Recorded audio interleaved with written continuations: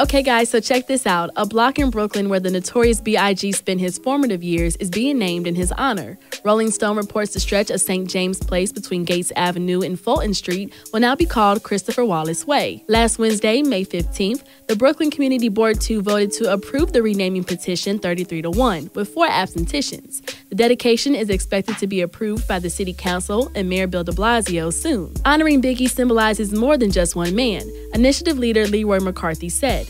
It symbolizes a culture, it symbolizes a borough, it symbolizes people, and hip hop is worldwide. In a video clip of the Community Board 2 hearing, Juliet Cullen-Cheung, Transportation and Public Safety Committee Board Chair, said the effort to dedicate Christopher Wallace Way has received support from Council Member Laurie Cumbo and New York Congressman Hakeem Jeffries, despite pushback from those who take issue with the profanity and misogyny in Biggie's lyrics. To that, Cullen-Cheung said, Ruth Bader Ginsburg, who is a champion of feminist rights, is happy with her moniker Notorious RBG. The initiative got off the ground several years ago, but was initially shut down. The notorious B.I.G. started selling drugs at 12, CB2 committee members Lucy Koteen said at the time. He was a school dropout at 17. He was arrested for drugs and weapons charge. He was arrested for parole violations. He was arrested in North Carolina for crack cocaine.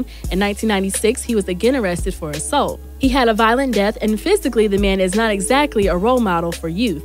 I don't see how this guy was a role model, and frankly, it offends me. But hip hop was clearly prevailed, and Christopher Wallace Way will finally become a reality. According to Billboard, the dedication ceremony is scheduled for June 10th. Several members of Biggie's family are expected to attend the public ceremony, including his mother, Voletta Wallace. It just so happened to be announced on his 47th birthday a couple days ago, so jam out to some Biggie. So, what do you guys think? Was this a long time coming already? Let us know your thoughts in the comment section below. Hit that subscribe button and notification bell to stay up to date on all our new videos. And as always, make sure to keep it all locked to hiphopdx.com.